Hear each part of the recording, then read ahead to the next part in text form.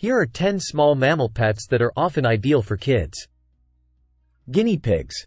Guinea pigs are gentle, sociable animals that enjoy human interaction and are relatively easy to care for. They are known for their friendly personalities and often form strong bonds with their owners. Rabbits. Rabbits can make excellent pets for kids, especially those who are gentle and patient. They are playful, curious animals that enjoy exploring their surroundings and can be litter trained for indoor living. Hamsters. Hamsters are popular pets for kids due to their small size, low maintenance needs, and entertaining behaviors. They are nocturnal animals, so they are most active in the evening and nighttime hours. Rats. Despite their reputation, rats make affectionate and intelligent pets that can form close bonds with their owners. They are highly social animals that enjoy interacting with humans and other rats. Mice. Mice are small, gentle pets that are well suited for older children who can handle them delicately. They are curious and active animals that enjoy exploring their environment and playing with toys. Gerbils.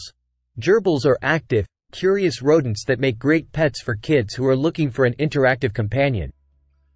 They are social animals that thrive in pairs or small groups and enjoy tunneling and burrowing.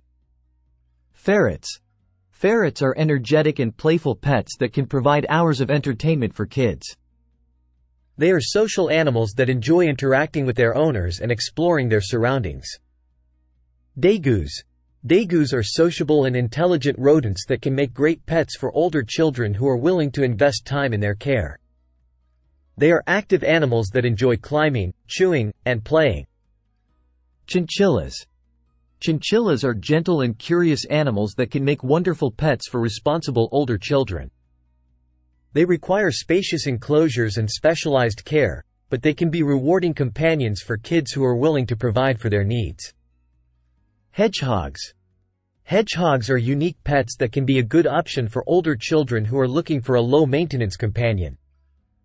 They are solitary animals that require a secure enclosure and regular handling to become socialized.